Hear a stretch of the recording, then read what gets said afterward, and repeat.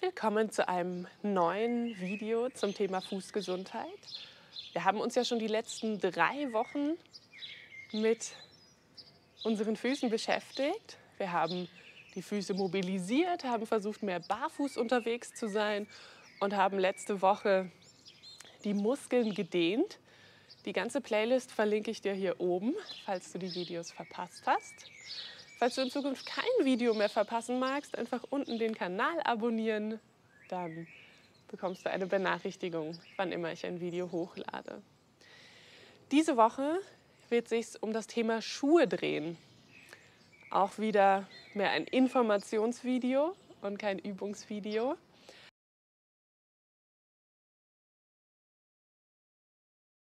Was ist so, dass wenn wir Schuhe tragen, die diesen Übungen, die wir machen, entgegenwirken. So viele Übungen können wir gar nicht machen, um das auszugleichen. Und deswegen, die meisten Schuhe, die wir so haben, schauen, werden mehr nach dem Aussehen ausgewählt. Aber wenn man ein bisschen darauf achtet, es müssen jetzt auch keine teuren Barfußschuhe sein, sondern einfach schauen, was tut meinen Füßen gut. Wichtig ist einmal, dass die Schuhe hinten und vorne genau gleich hoch sind. Wenn die Schuhe hinten höher sind, also einen Absatz haben, was fast alle Schuhe haben, das müssen keine hochhackigen Schuhe sein, auch ganz normale Sneakers sind meistens hinten ein bisschen höher als vorne. Kannst du dir vorstellen, du stehst die ganze Zeit, als wärst du so ein bisschen bergab.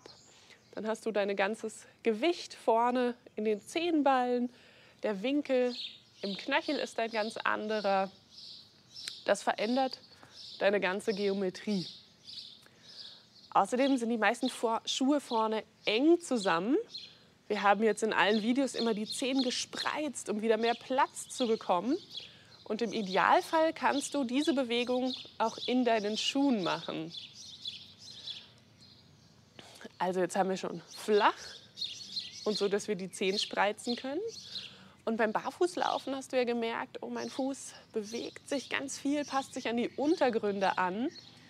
Wenn du jetzt einen Schuh mit einer festen Sohle trägst, funktionieren diese ganzen kleinen Bewegungen nicht. Also kannst du vielleicht mal in deinem Schuhschrank schauen oder beim nächsten Schuh kaufen, ob du ein paar Schuhe hast, die flexibel sind.